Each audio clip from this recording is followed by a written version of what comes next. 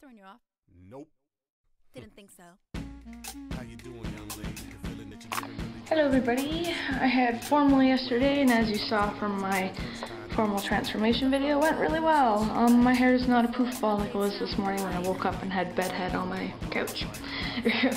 too tired when I got home, I was a bit too high on life. But there's um, a bit of a magic about today. Um, let's go see. Turn the light on. Oh, wrong switch. Sorry. So, day after formal, it starts like snowing outside. So we got a lot of snow coming down and uh, it's pretty cold out here. So um, I did not go into the center because, well, it's too cold and I'm a bit lazy. Okay, so let's venture in my house.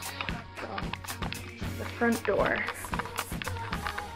Venture, venture, venture, venture, venture, venture. Oh my god.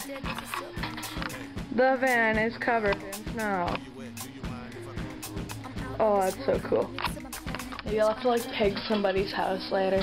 But no, it's cold and I'm standing outside and uh, they're saying that formal went really well, a little bit of ups and downs along the road, but there was this girl who um, found me through YouTube and she told me that I was really good, uh, all my videos were good and like, you know, um, that I was a nice person and that's really cool if people find me on YouTube and then start like, you know, saying stuff. So then after she did that, she told a bunch of her buddies and they all came and hung out with me and then some guys came out uh, and hung out with me.